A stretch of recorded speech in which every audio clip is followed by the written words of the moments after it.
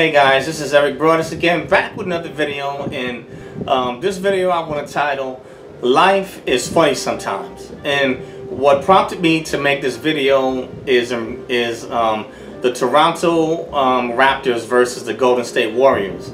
And I, in my, I said it, and that I thought the Raptors um, had a good shot at winning, and that Golden State to me looked to be in trouble. Now, we obviously know that um, the reasoning behind that was the injuries to um, Kevin Durant and then also um, Klay Thompson. Now, I know that Andre Iguodala got injured, I believe, in the um, in the first game of the series, and then you had DeMarcus Cousin, who hadn't played all season, um, coming back to try to help the Warriors um, revive them and help help them win.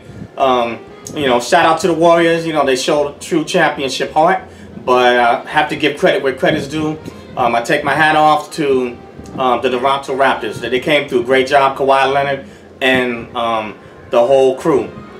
But um, life is funny. And I, have said this before because oftentimes in my videos, I like to use um, the sports analogy as a, as a representation of life. Because in life, things come about um, unexpected. You never know what is going to happen from one day to the next. And sometimes life can present um, different um, circumstances or adversity.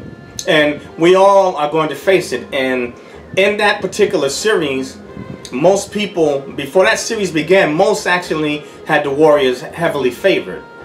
You know, some thought, and even myself at the beginning, I thought, Ugh, maybe Toronto, you know, I said maybe they might make it to game five, you know, possibly six. But what happened when I watched that first game, I really hadn't paid Toronto too much mind. And I realized then, I said, wait a minute, you know, Toronto is a much better team than I gave them credit for.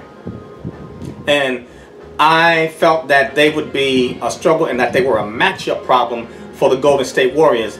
Um, one reason why I felt that way is because they call Kawhi Leonard the Terminator.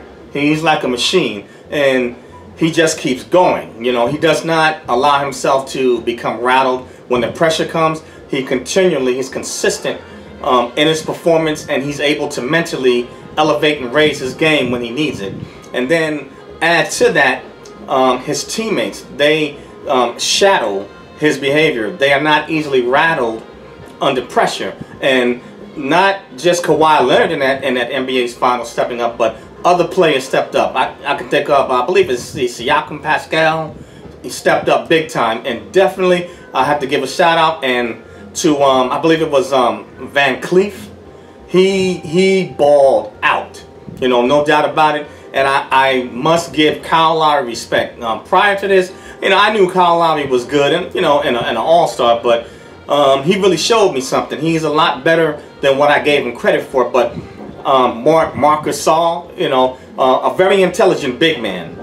But um, that whole team, along with Kawhi Leonard, I mean, they they played they played ball. Now, Golden State did have some some injuries, which was very unfortunate. Um, I didn't think that Kevin Durant should have came back because I, I felt I said that's an Achilles injury. When I first saw him get get injured, I said, nah, that's not that's not a calf muscle. When he jumped like that, I said that's an Achilles injury.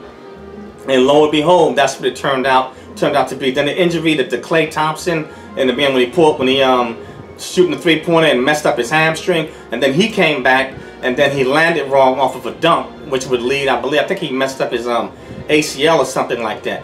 But I used them as an example. You know, on one side you had some uh, adversity and unfortunate um, circumstances on the which um, equated to them to, to losing because of the injury. It's just um, too much of a burden for um, Steph Curry to carry. And, you know, Draymond um, Green came through, but I, I really feel that Steph Curry is the heart and soul of that team. And it's just too much weight, you know, for one man to carry. But then you look at, at, at, at the victors to whom all the spoil goes, goes to, the Toronto Raptors. And that's a, a good example of life you know, in life, you know, there are so many things that are unexpected that that can come up. One day, um, you can be up, you know, and the next day something could come and hit you like a ton of bricks. You know, it could um, could be your health, and definitely without your health, you definitely can't can't do anything. You know, you you know may have a, a, a, bunch of money, but try having a lot of money, but you don't have your health. You know, what can you do and how can you enjoy it? You may have the money to um, pay for the staff or the resources to take care of you, but if you have a, a serious condition that, that you're stuck with throughout your life, it can greatly hamper you or hinder you. Without your health, there, there's not really much that, that you can do, and it does make a dramatic difference. Uh, another area can be the unexpected or twisted turn in relationships. You know, and relationships, they are important to us as human beings because we are social creatures and we are geared for relationships. And there are different types, you know, there can be um, friendships, you know, and I've said before that um, certain relationships are meant to be for a lifetime. Certain ones are seasonal, which mean, means that um, certain relationships, whether it's friend, um, lovers, family, some people are in your life just for a season and you're in theirs for a season and um, eventually you both move on, you know, and you take the good out of it, you know, what you get, and you learn from the bad. Um, some relationships in terms of with, with marital relationships, some cases, um, depending on a couple, the relationship lasts for a long term, but eventually that ends when both or one, one or two depart till death do us part. So, you know, that's that's one example, but there's also divorce, you know, and sometimes two people, when they fall in love, nobody wants to go in thinking that the marriage is going to fail, but both um, go in with hopes, and sometimes for whatever reason, things don't work out, and they they just um, can't make it and there's different effects to that you know. Um, if you have have children you know that does uh, affect you know um, the children you know that you both had together so th there's different effects that those are unexpected twists and turns you know you have relationships in business sometimes they have to end whether it's a business partner or whether um, you build relationships at a certain job um, you know certain jobs especially nowadays people are changing careers and they're moving around. So many times, most of them are short term. You know, if it's long term, eventually you're going to retire. So eventually, um, you know, that is going to end. And some of those relationships are going to end because people, they continue on while you move into another phase of life. But life, it can be funny sometimes. Um, you can take a dip in your finances.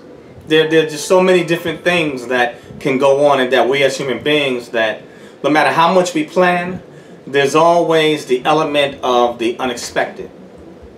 You know, we cannot plan for everything and we can't foresee everything that is going to go down the line. Now, I'll say this, with preparation and proper planning, it, it greatly increases our chances that we will be much better prepared when unexpected things happen.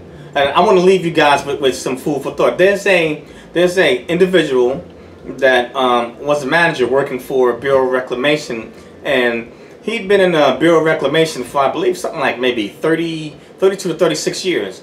You know, outstanding.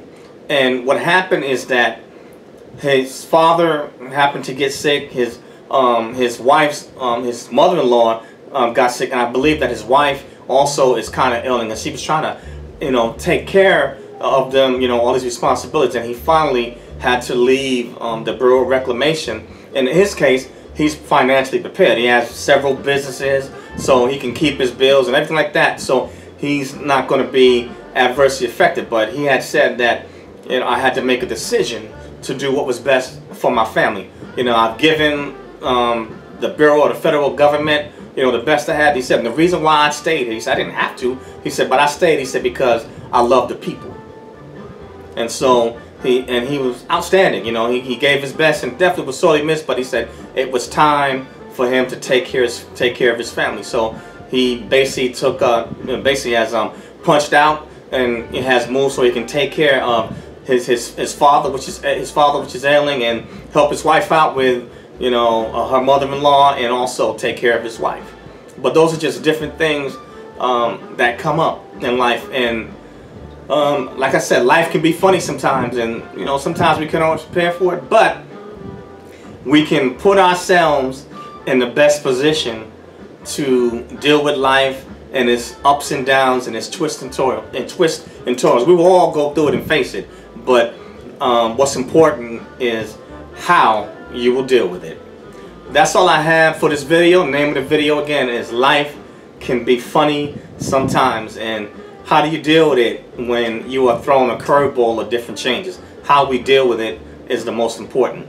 Please like the video, unlike the video, um, leave comments. Please subscribe to my channel. And if you subscribe, tap the bell for future videos or podcasts. And for those that are already subscribed, please tap the bell. Thank you guys for your time. I greatly appreciate it. And have a great day. Thanks.